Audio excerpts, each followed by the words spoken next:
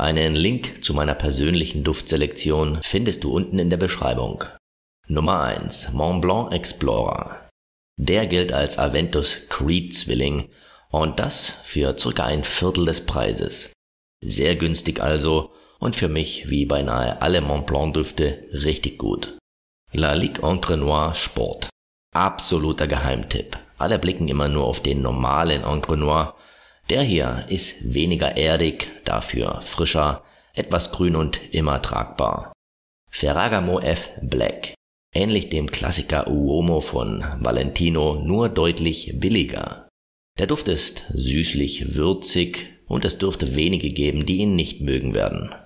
Isemiake L'Eau Bleu, hier erwartet dich eine äußerst spannende Duftpyramide, kräuterlastig, maskulin und wunderbar frisch, auch preislich einfach ein Kracher.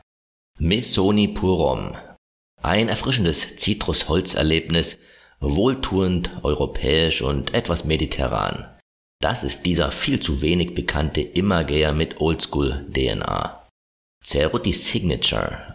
Wer würzig ledrige Düfte mag und gerade so viel Süße haben will wie nötig, der ist hier richtig.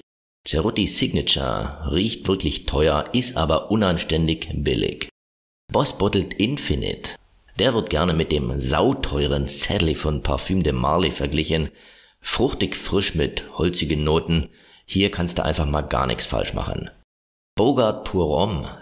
Den kennt kaum einer, was schade, aber eigentlich auch gut ist. Lavendel und fruchtige Akkorde dominieren. Tragbar ist der immer mit einer wirklich sehr guten Haltbarkeit. Bentley Absolut. Kraftvoll, rauchig, holzig, harzig. Eher nichts für den Sommer und auch nichts für weichgespülte. Für mich ein mutiges Kraftwerk für Alpha-Typen. Azarochrom, ein sehr gelungener Aquatiker für die wärmere Jahreszeit und kleines Geld. Wirkt wirklich sehr erfrischend und belebend, auf keinen Fall zu süß, aber würzig genug. Sieh dich gern bei mir im Shop um, dort findest du handgewählte Dinge, die dich als Mann interessieren dürften, Accessoires, Uhren und nicht zuletzt auch meine Duftempfehlungen.